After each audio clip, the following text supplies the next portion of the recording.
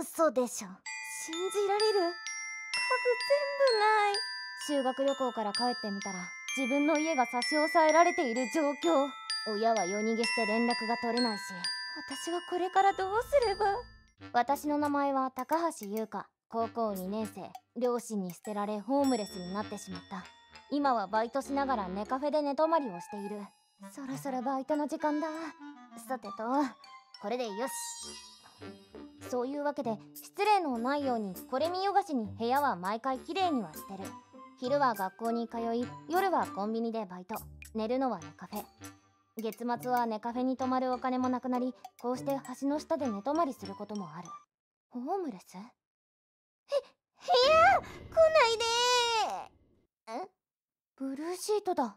お嬢ちゃん宿なしかい。これ使いな。ありがとうございますわけは聞かねえがお嬢ちゃんはまだ若い。勉強しな。学問はお嬢ちゃんの道を開く。はあ。勉強ね。もともと私の成績は悪くはなかった。でもバイトをしないと生活できない以上勉強は授業中にするしかなかった。そして半年が過ぎ新学期。ゆかネカフェで暮らしてんだろ？大丈夫なの？今更かよ。ずっと気になってたんだよ。それはどうもじゃあ俺んち来ない？は事情を話したら両親も理解してくれててさ。お前んち夜逃げしたのみんな知ってるから。えマジ？うん。カイト様マジ天使救世主。今更とか言ってほんとすみません。こうして私は幼なじみと一つ屋根の下で暮らすことになった。もちろん高校を卒業するまでという条件だ。そして数日後カイトの両親優しくてマジ良かったな。しかしこの真面目な私が先生に呼び出し食らうとは。お前進学どうするつもりだ？もちろん。東大受けます。東大は私の子供の頃からの夢だった。だからみんなが遊んでいても勉強ばっかりしていたんだ。でも学費を用意できるのか？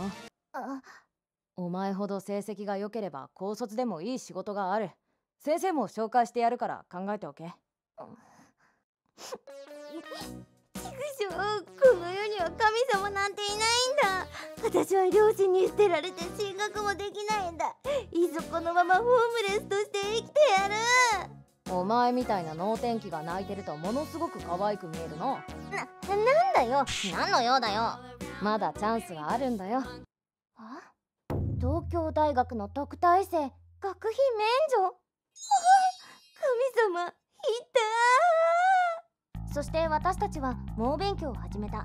家でも学校でもバイト先でも隙間時間を全て勉強に費やした。時は過ぎ試験会場前。2人ともあれだけやったんだから大丈夫よ。全力を出し切ってこい。絶対に受かる。一番で受かってやる。番号あった。よっし勉強したかいあったゃ二人ともおめでとう。とりあえず合格はできた。ここまででも十分奇跡だ。え？その後入学説明会でスタッフに聞いた。受かったもののさすがに特待生は逃してしまったのだ。一番じゃなかった。そこまで世の中甘くないよな。俺たちで何とかするから。私パート増やすわ。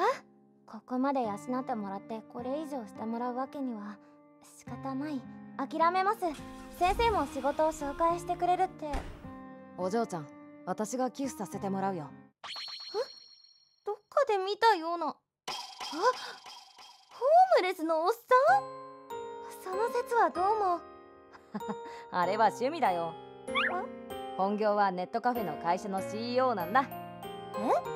え？な学問が道を開いただろ。はいもうこうして私は無事東大に進学できた。春からワンルームマンションで一人暮らしすることになった。でも隣の部屋にはカイトが住んでるのでいまいち変わり映えはしない。でもそれは私にとって幸福なことだ。